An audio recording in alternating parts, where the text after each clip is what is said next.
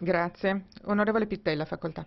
Presidente Juncker, io le confermo il voto favorevole del gruppo dei socialisti e dei democratici per la sua attenzione nei confronti del Parlamento, per la positiva nuova architettura istituzionale che lei ha scelto per la Commissione, per il suo invito a riequilibrare le politiche di austerità. Aggiungo che chi si è impegnato per le riforme strutturali coraggiose e si trova in una situazione di bassa crescita deve usufruire di tutta la flessibilità prevista nei trattati.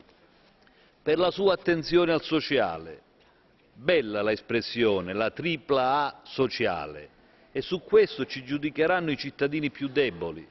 La nostra agenzia di rating sono i cittadini.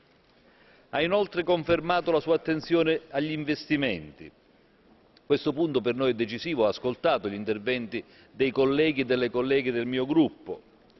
Quando lei ha parlato del piano di investimenti ha detto che è anche il settore privato ad avere grandi responsabilità e lei ha ragione. Resto tuttavia convinto che il rilancio dell'economia non possa essere esclusivamente appaltato ai privati e nel suo piano di investimenti deve esserci un chiaro impegno fatto di risorse pubbliche per investimenti pubblici. Sul mercato unico noi siamo d'accordo con lei, servono riforme strutturali per ridurre gli ostacoli alla crescita, però attenzione alla retorica delle riforme strutturali. Molti Stati da molti anni stanno facendo coraggiose riforme strutturali. Non si può continuare a dire che non basta, che devono sempre fare di più.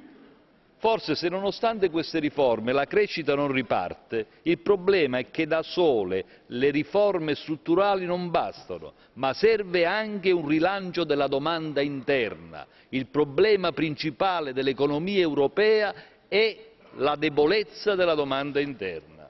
Un'ultima parola che ho sentito poco.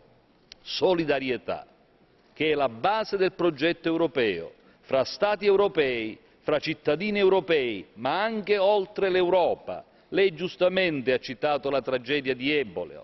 Ecco, questo deve essere il banco di prova per mostrare che l'Europa c'è, c'è ovunque si trovi nel mondo, qualunque sia la nazionalità, non lascerà nessuno indietro. C'è una bella frase di Don Luigi Ciotti che dice non è tanto importante essere credenti quanto essere creduti. Questa è la sfida della politica, questa è la vostra sfida, questa è la nostra sfida. Grazie.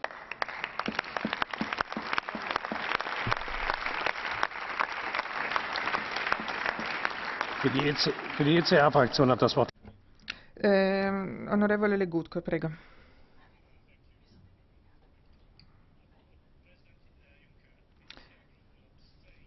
Grazie. Noi ci asteremo. Lei ha cominciato a, mm, a intervenire.